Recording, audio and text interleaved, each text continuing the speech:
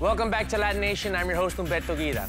Now, many biopics, especially those about sports heroes, follow their subjects well into the prime of adulthood.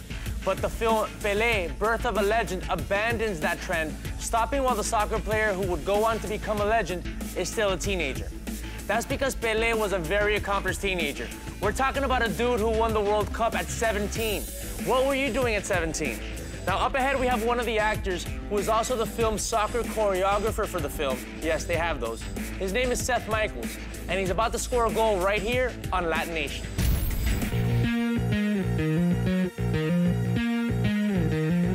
Hi, my name is Seth Michaels. I'm an actor, and I have a film coming out on May 13, Pelé, Birth of a Legend. Now is the time for Pelé. I don't know if we will win, but we will show them a beautiful game. Well, the movie is based on pretty much the life of Pele himself. Uh, you know, there's so many stages about his life, but it starts when he was a kid, where he comes from, uh, Las Favelas from Sao Paulo, you know, poverty, into his first World Cup as a 17-year-old soccer player, which was 1958. He's only 15. He's never even left Bauru. And how it doesn't matter who you are, where you come from, if you have that love and that passion and that ethic to really work hard for something you believe in, it can be it can be achievable. It can be, you know, something that you can grasp and taste and feel and accomplish.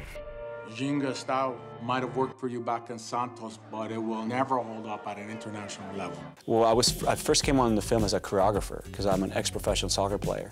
So they wanted me to show up and you know and work with the with the players and, and, and the actors and the choreography for the soccer stuff. And when I met with the directors, they still hadn't cast one character named Mario Zagallo, who also based on a true character. And uh, they asked me, and I said absolutely. I think the key to having something that looks great is having real players or people who can play really good. You know, that, that's the key to any type of, I mean, you talk to any athlete, you know, you talk to any person who does choreography, whether it's basketball or football or baseball or soccer, you know, it, it takes really good players to have great things come on, you know, on the screen.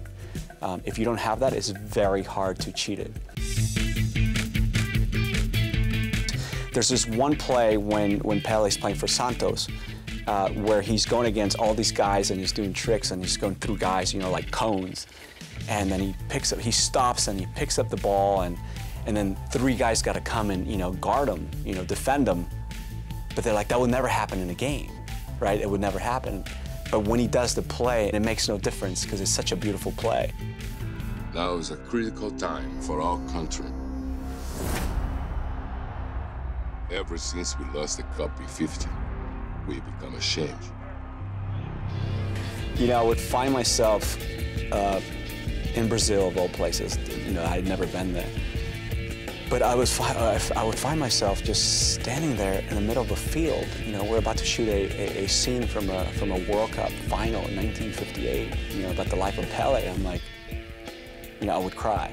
you know, like nobody was around. I'd be like, you know, like tears. I'm like, wow, it was, it was a dream come true to, to be a part of a, of a film and, and the life of Pele.